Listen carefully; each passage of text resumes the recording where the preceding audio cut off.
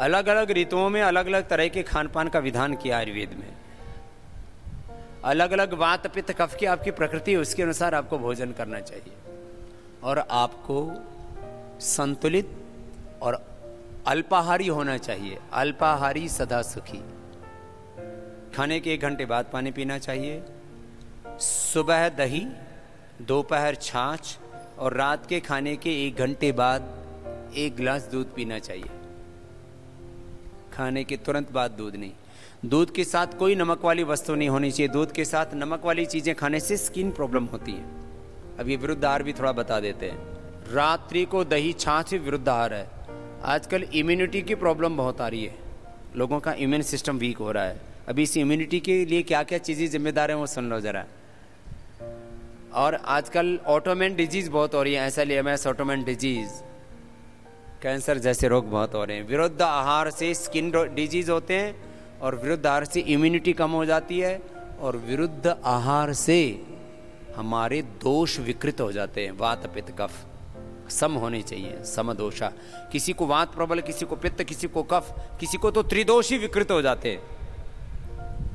इसलिए रात को दही छाछ नहीं लेना चाहिए। पहले तो मैं देखता था गुजराती लोग रात को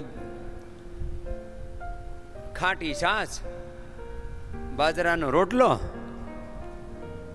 અને રેંગણાનું ભરતું. આ ગુજરાતી મેં વાત કરી તો એ જે ગુજરાતી છે ને એ બધા સમજતા એ બાકીના બાકી કોઈ સમજમાં નહીં આવી ગયા. ક્યોંકि મને દેખા ઘણા બધા ગુજરાતીઓ છે ને આ તો કાઠિયાવાડમાં તો ઘણું બધું આવું જ ખાતા હોય બધા તો ઓ એક તો छाछ खट्टी, फिर ऊपर से बैंगन का भरता, फिर लाल मिर्च और बाजरे की रोटी। ज़्यादातर लोगों को ये लगातार खाने से बवासीर हो जाता है। क्यों? हम सारी चीज़ें ऐसी खा रहे हो आप। और वो रात को भी खा रहे हो? रात को नहीं, दोपहर, छाछ, सुबह दही।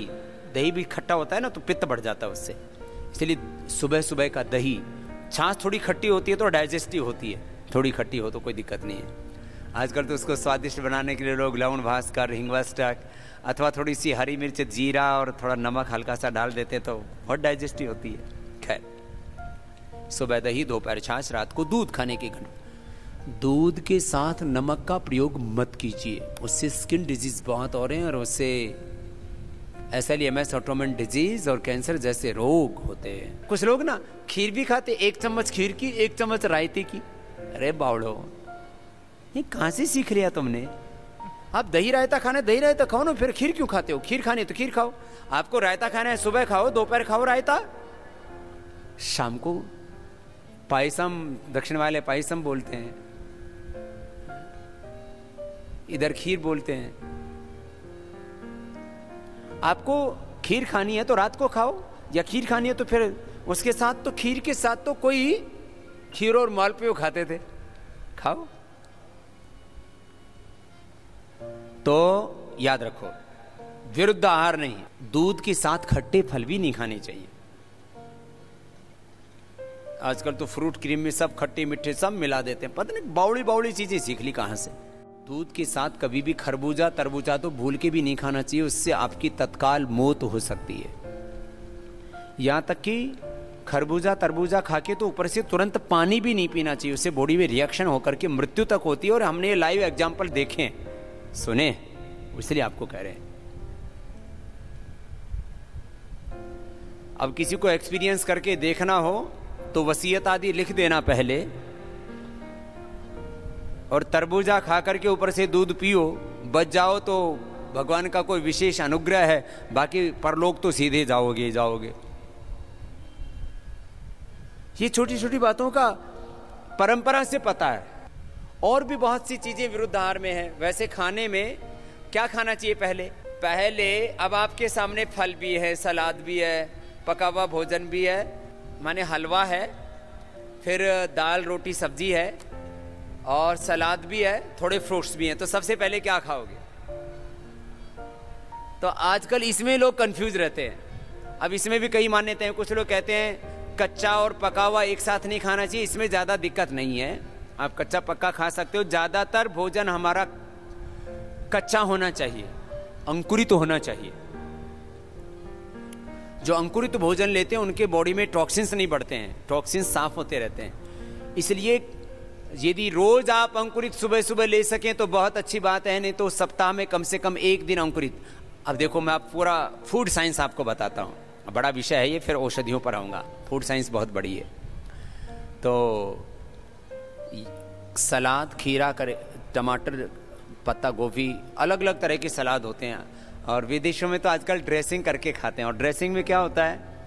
वो लोग डालते हैं ऑलिव ऑयल अपने यहाँ सबसे अच्छा है ड्रेसिंग के लिए सरसों का तेल और वहाँ तो सरसों की चटनी बनाते हैं। मस्टर्ड की चटनी। अपने यहाँ टमाटो केचप बहुत बनती है।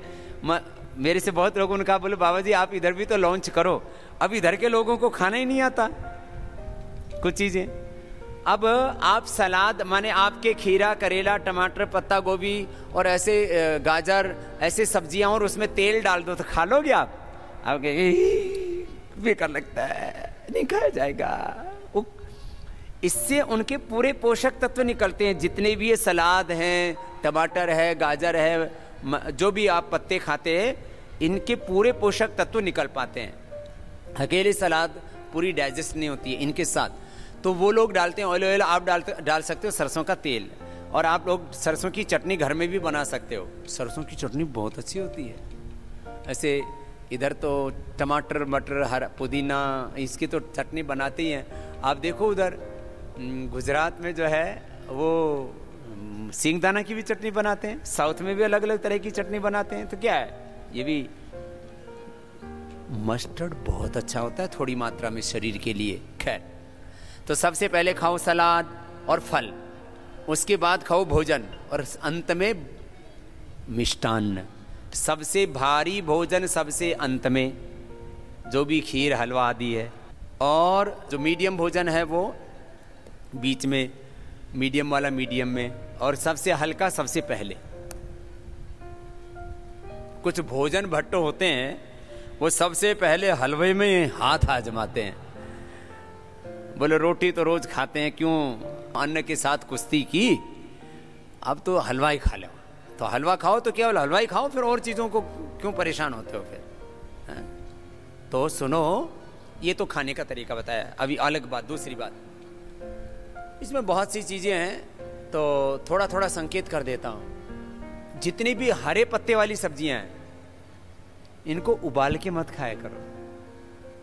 और आंवले को भी उबाल के, आंवले का तो ताज़ा का रस निकालो ना, उसमें जैसे आपको जो आंवला जूस देते हैं ना पतंजलि की तरफ़ से उसको उबालते नहीं है। उबालने से विटामिन सी उड़ जाता है। बहुत से विटामिन न्यूट्रिएंट्स, माइक्रोन्यूट्रिएंट्स, बहुत से पोषक तत्व तो उबालने से उड़ जाते हैं। तो सलाद और इनको तो ऐसे ही रखना चाहिए। और अंकुरित को भी कुछ लोग उबाल के खाते हैं। वैसे उसको भी वैसे ही खाना चाहिए। उबालने से बहुत से पोषक तत्व तो नष्ट हो जाते हैं। अच्छा मनुष्य को छोड़ करके बाकी कोई जीव जंतु उबाल के खाते हैं क्या? ये हाथी इतना बड़े घास पत्ते खाता है, गन्ना और तमाम केला आदि सब ऐसे कच्चे खाता है, गाय, भैंस सब कच्चा खाती हैं। जितने भी शाकाहारी जीव वो भी कच्चा खाते हैं और मांसाहारी भी कच्चा ही खाते हैं, शेर आदि, कुत्ता आदि, जो भी हैं। ये मनुष्य है जो पक्का पक्का खा करके पक गया पिलपिला हो गया खुद भी। है? तो पक्का हुआ कम खाया करो, कच्चा ज़्यादा खाया करो। कच्चाहारी फलाहारी रसाहारी रसाहार कच्चाहार फलाहार ये सात्विक आहार होते हैं।